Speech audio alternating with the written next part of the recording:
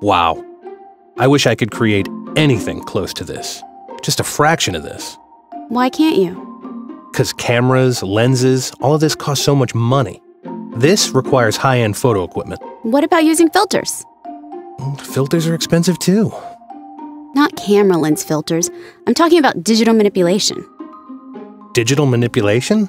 Like what? On computers? No, like the other digital manipulation, using your fingers to develop film in dark rooms. Of course, computers. Uh, you know I'm no good with computers. And those kinds of programs are crazy intimidating. But if they can turn your ordinary photos into something like this, are they crazy intimidating or wildly helpful? You serious? Like this fisheye right here. They can do that. Fisheye, panoramic, colorization, saturation, even tilt shift, and a whole lot more. You don't know what you can do unless you give it a try.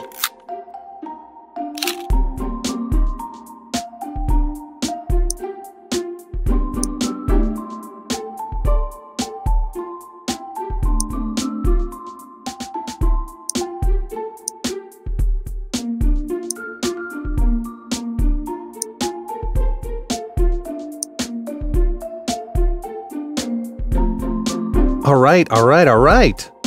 These are really good. What's next? Let's move on to something better. At this rate, you'll be mounting your own photo art show soon.